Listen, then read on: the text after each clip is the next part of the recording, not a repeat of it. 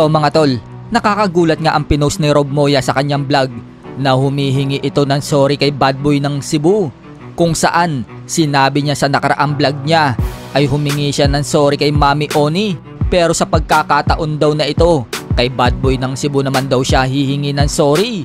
Piling nga daw niya ay sumusobra na siya.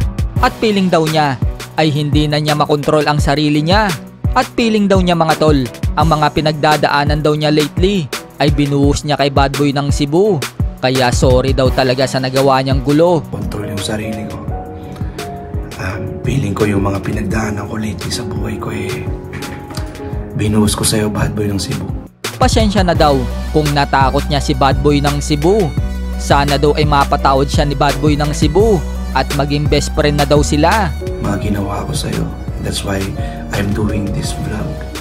Para mag-sorry sa'yo at sana mapatawad mo ko. I'm really sorry, bad boy ng Cebu. Sana you find it in your heart to forgive me. At ah, sana maging best friend tayo. Naging emosyonal pa nga dito mga tol si Rob Moya. Teka, teka, sorry, bad boy. Nagiging emotional talaga ako ngayon. Parang At bigla-bigla na nga lang itong sumigaw. Palabas niya lang pala lahat ng ito mga tol. Sorry ako sa'yo. Ha? Hindi ako magsusorry sa... Nakita ko yung vlog mo. Ha? Anong tawag mo sa akin? Pago? Hindi nga daw siya magsusorry sa nangyari last time dahil nakachamba lang daw talaga si bad boy ng Cebu sa kanya. Lalo sa nangyari sa last time. Ha?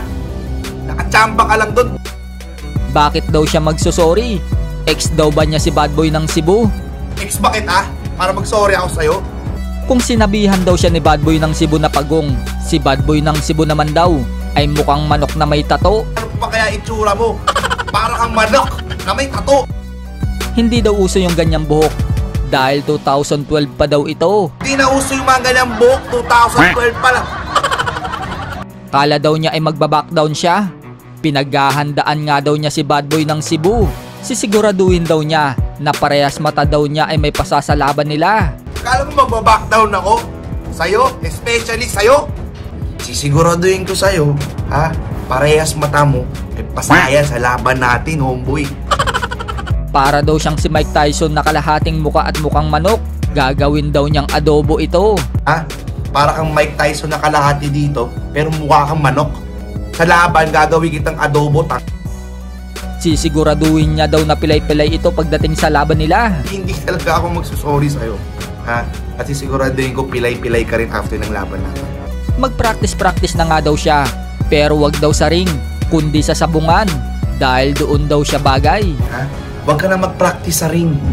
Ha? Mag-practice ka sa sabungan. Total bagay ka doon, tanga. Pa-entrance-entrance pa daw si bad boy ng Cebu sa kulungan. Gawa naman daw ito sa plastic. Ma-entrance, entrance ka para sa kulungan ka. Pakialam ko. Gawa naman sa plastic yun. Ha? Try mo talaga lumabas ng kulungan na gawa sa bakal. Tingnan natin kung kaya mo talaga. Deadball daw talaga si bad boy ng Cebu kapag na-knockout niya ito. At pag na-knockout kita sa laban natin, hindi kita lalagay sa kabaong, ilalagay kita sa shoebox. Kasi manak ka lang, manak! Gagawin na nga kitang adobo, pwede pa kitang gawing tinola.